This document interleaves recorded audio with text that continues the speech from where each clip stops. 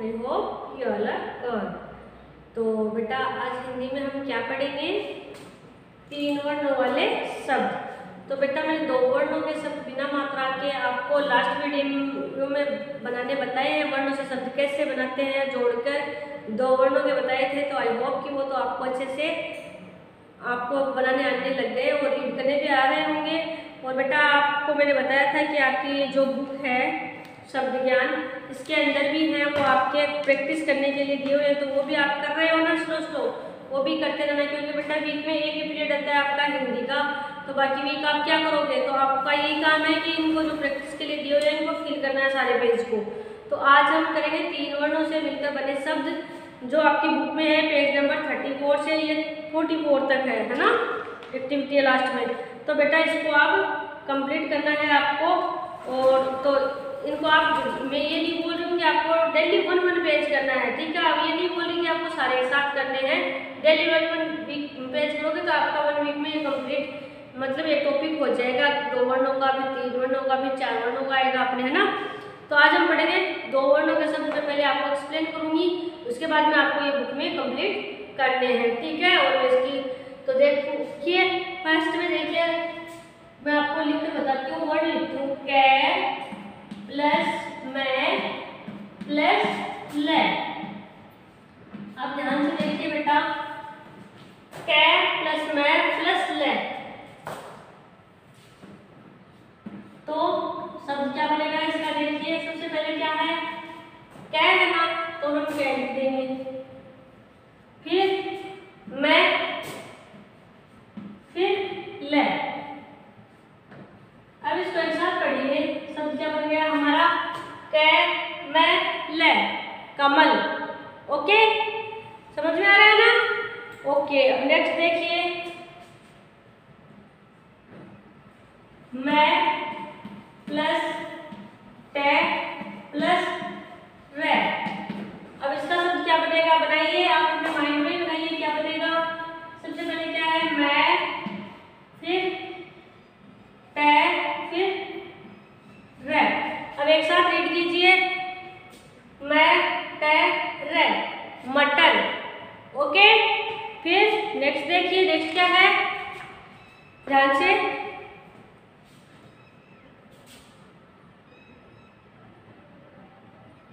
है प्लस से प्लस ले, देखिए इसका शब्द क्या बनेगा बेटा, सबसे पहले क्या है? फै है ना? तो फै लिख देंगे फिर क्या है? से। तो से लिखा, फिर क्या है? ले। अब देखिए शब्द क्या बन जाएगा?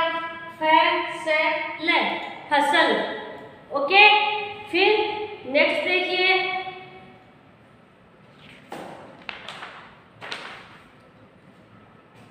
नेक्स्ट देखिए।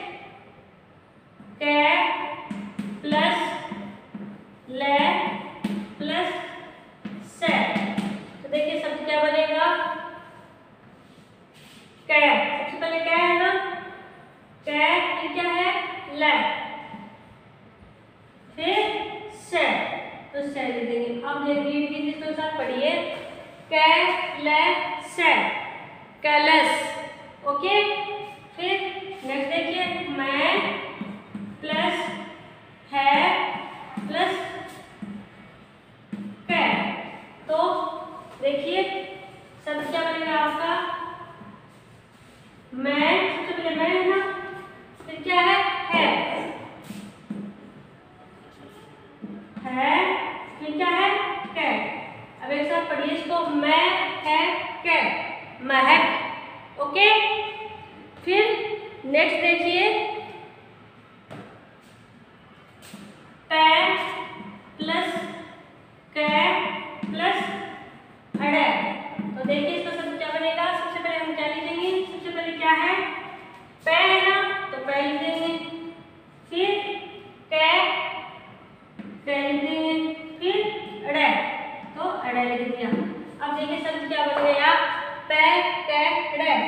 हंड्रेड लास्ट देखिए नैन प्लस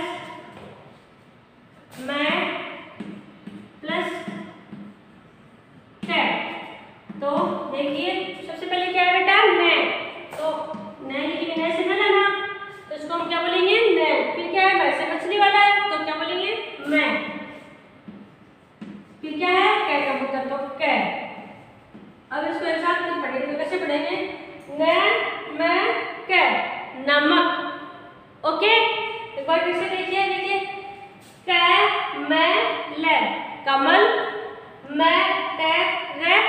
मटर है फ़सल कै ले से कलश मै है कै महक पै कै रे पकड़ न मैं कै नमक ओके स्टूडेंट्स तो ये आपके तीन वर्णों वाले शब्द हो गए हैं बेटा नेक्स्ट वीडियो में हम चार वर्णों के शब्द कंप्लीट करेंगे तब तक ये आप अपने ये तो आप नोटबुक में लिखिए और जो आपकी बुक में प्रैक्टिस के लिए दिए हुए हैं उनको भी बेटा आप बार बार रीड करके लिखोगे आप जब भी लिखोगे जमा जमा कर लिखना है सुंदर सुंदर गुड हैंड राइटिंग में, और उनको बेटा पट पट कर लिखना, आपको ये नहीं कि आपने ऐसे लिख दिया।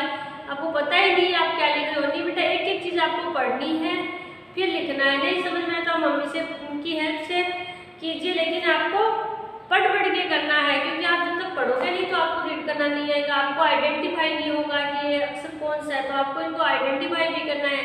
पहले आपको स्वर और व्यंजन अच्छे से लर्न करने हैं उसके बाद में इनको आइडेंटिफाई कर करके ये तय है कि मैं है, क्या है ना? आइडेंटिफाई करके बोल बोल कर लिखने हैं। Okay students